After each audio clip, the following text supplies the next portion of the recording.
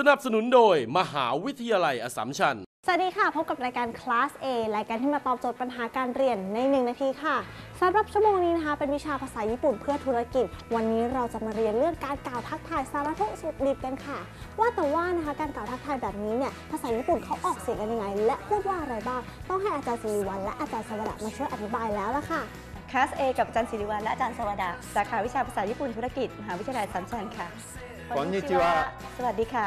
วันนี้เราจะมาเรียนคำทักทายการถามสารทุกสุขดิบกันดูบ้างนะคะ คนญี่ปุ่นนั้นเวลาเจอกันเราก็ต้องทักทายกันก่อน โดยจะพูดว่าคอนนิจิวะคอนนิจิวะแปลว่า สวัสดีค่ะ และถ้าเราไม่ได้เจอกันมาสักระยะเวลาหนึ่งเราก็จะพูดว่าฮิซาชิบุริเดสเนะฮิซาชิบุริเดสเนะแปลว่าไม่ได้เจอกันนานเลยนะ แล้วก็ถามต่อว่าเป็นยังไงบ้างคะโอเกนกิเดสกะโอเกนกิเดสกะก็จะตอบว่าสบายดีค่ะ はい元気ですはい元気です ค่ะ ตอนนี้เรามาลองทบทวนกันดูอีกครั้งนะคะ こんにちは久しぶりですねお元気ですか ให้เกงกิเดส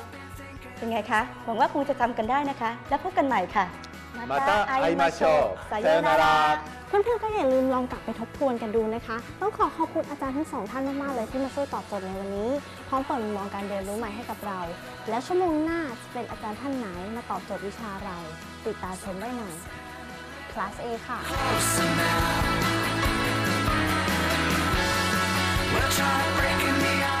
สนับสนุนโดยมหาวิทยาลัยอสสัมชัญ